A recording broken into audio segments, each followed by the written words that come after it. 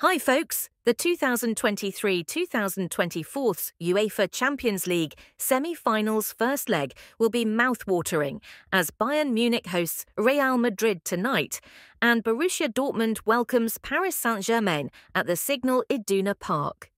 If you like this video, subscribe, smash the like button, and hit the notification bell to support the channel. Let's look at the latest football news and transfer rumours.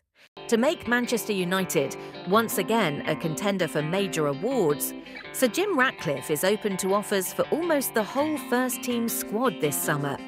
While club insiders are emphatic that they would want to keep the England striker and work with him to get back to the form that earned him 30 goals for the first time last season, it is thought that Marcus Rashford is on the list.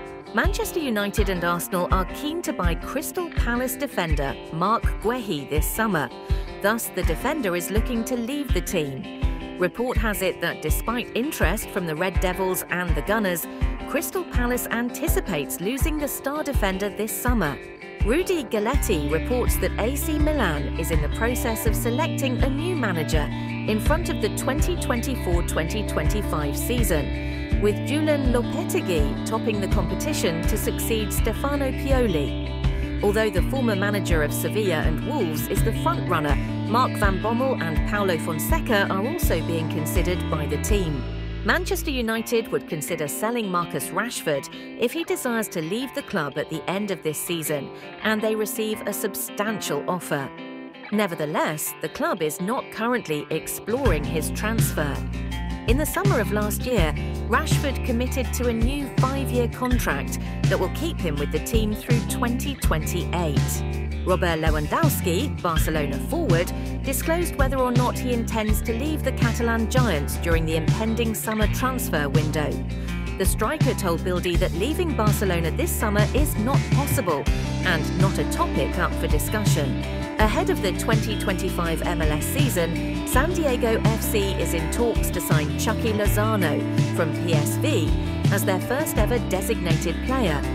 According to the source, the Mexican international, who is in his second spell at PSV, is valued at $12 million by the Dutch club. He may decide to depart after just one season. Max Eberl, the sporting director of Bayern Munich, met Leroy Sane over a covert dinner and told him that the team is willing to make him an offer on a new long-term contract. Sane is allegedly eager to stay in Munich for an additional year, and the Bavarian side wants to keep the German international in the club past his present contract, which expires in 2025. Joao Felix is likely to leave Atletico Madrid permanently during the upcoming summer transfer window. Ferran Torres is being offered by Barcelona in exchange for Felix staying at Camp Nou indefinitely. Both clubs are actively seeking ways to facilitate a deal.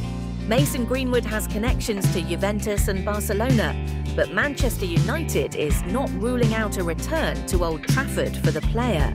Bayern Munich is making a serious effort to sign Jonathan Tah, a defender for Bayer Leverkusen. But Tah isn't just being eyed by Bayern. Premier League clubs are also interested in the gifted central defender.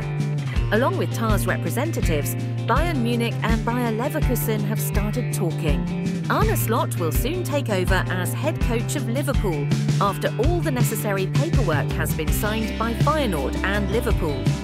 The official club statement, which is scheduled for this week between clubs, will still take some time Ajax is eager to employ Erik Ten Hag as manager once more if Manchester United fires him this summer.